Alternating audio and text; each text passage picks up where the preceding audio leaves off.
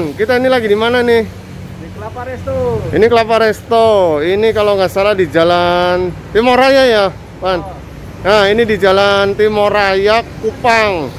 Ini sebelahan sama hotel apa itu? Swiss Bell. Swiss Bell yang baru.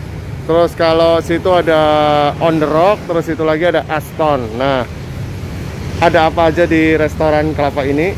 Nanti aku vlog buat kalian. Saya David Doni. Ayo ikut.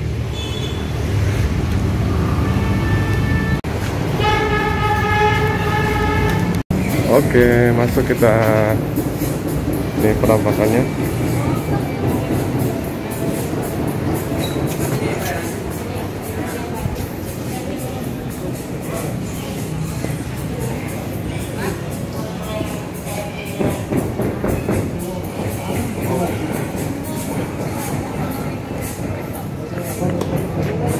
Kelapa Resto.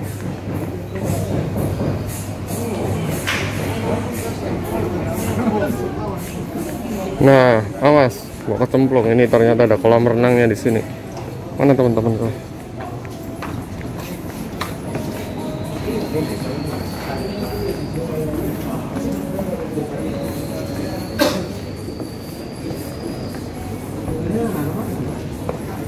Ya sebenarnya boleh kalau mau renang. Kalau ya.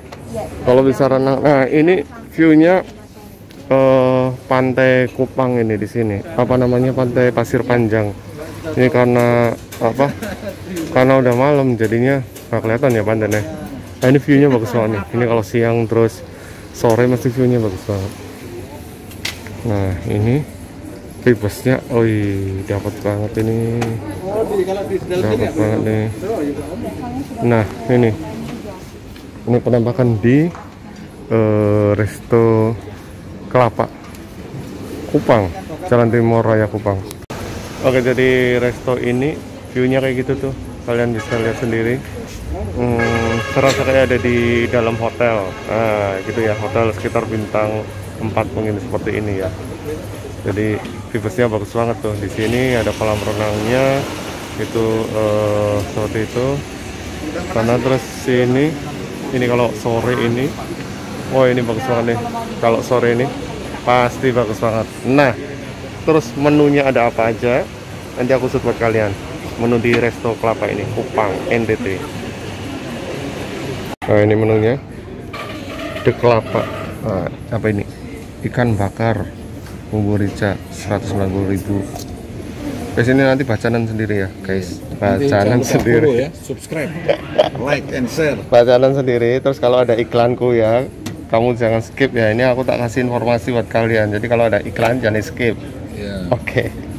Nggak masuk itu. oke mbak. Ini mbak aku apa namanya tadi? Capcay ayam mbak. Iya.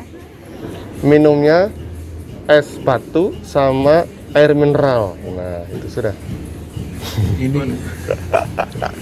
Ini salah itu minum sehat. Salah pegang. Ya minumnya aku kan aja.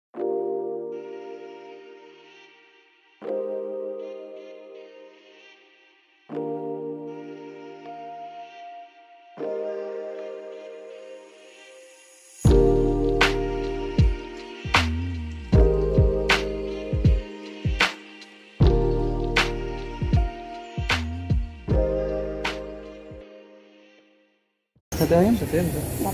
Kamu eh pesan? enggak ih Tadi bilang sate ayam Capcay. capcay ayam mbak Tapi sate ayamnya enggak. capcay ayam mbaknya dengernya sate ayam Itu aja. Oke. eh capcaynya tadi udah disebutin belum mbak Sudah capcay Sudah. ayam. Oke, capcay ayam bukan sate ayam ya, Mbak. Terus kamu pesan apa, Nas? Ikan bakar. Ikan bakar. Ini apa ini video atau foto? Video lah. Masuk di YouTube-mu ini. Nah, masuk YouTube tuh. Kamu bayar aku berarti. Sama, oh nanti tak kasih ini royaltinya tak kasih. Ini ini guys, aku sama teman-teman nah ini ini bosnya Kupang nih. Mereka berdua. Ini bosnya Momiri. Kalau aku bosnya semua.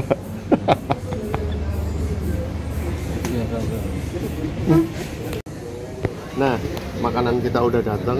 Ini Makan ya? yang namanya apa? Sini sini set. Ini namanya capcay ayam. Nah, terus kalau punyamu itu namanya apa, Wan? Puyung hai, Pak. Fuyung hai. Itu fuyung hai. Gede banget. Itu berapa telurnya tuh? Terus ini ini ikan apa, Pak? Ikan kakap.